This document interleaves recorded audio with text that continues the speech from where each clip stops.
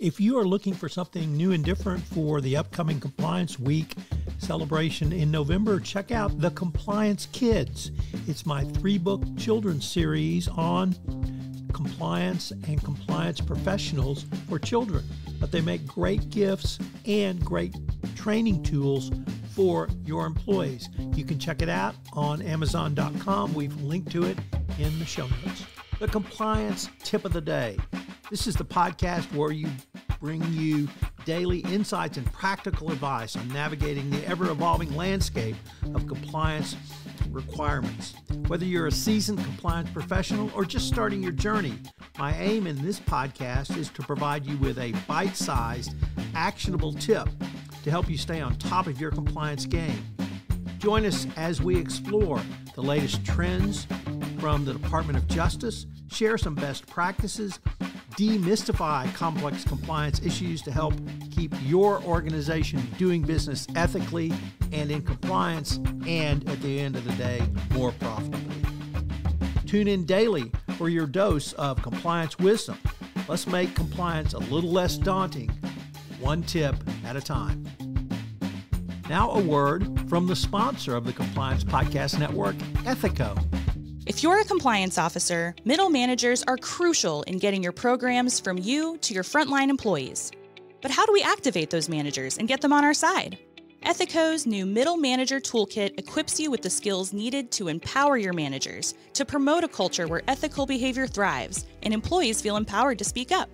Learn how to turn frontline managers into ethical leaders with our new white paper empowering middle managers as ethics champions. And did I mention you can get the whole toolkit for free? Head to ethico.com to download the full toolkit today. In today's episode, we want to take a look at branding lessons for the compliance professional from Bela Lugosi's Count Dracula. When we think about the iconic portrayal of Count Dracula, it is almost not possible to picture anyone but Bela Lugosi's from his 1931 film role. His elegant, mysterious demeanor and commanding presence define the image of Dra- Jack Dracula literally for generations. But what does his classic portrayal of the vampire have to do with corporate compliance? More than you might think.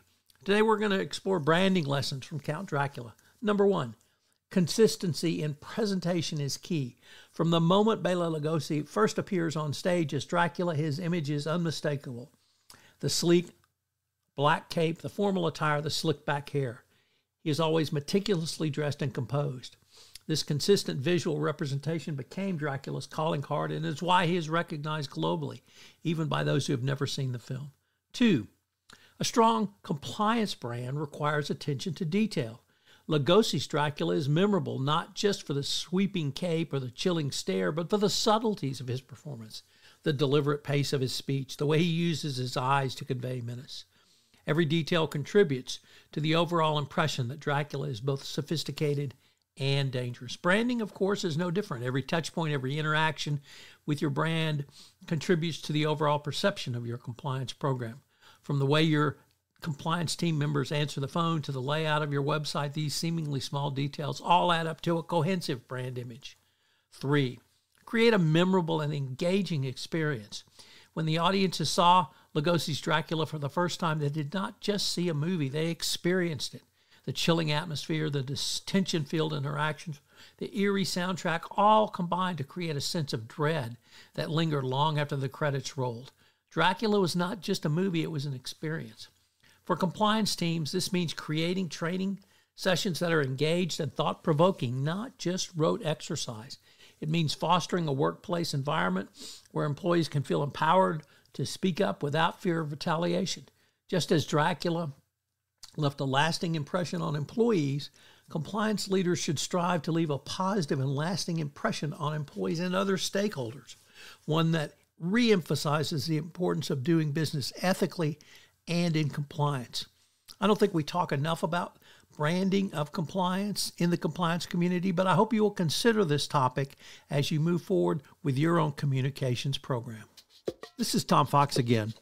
This new podcast, Compliance Tip of the Day, will appear daily. And frankly, it's one of the most requested topics for a podcast that I get on a regular basis. It's going to be short and sweet with uh, one tip with some takeaways that you can utilize to implement into your compliance program.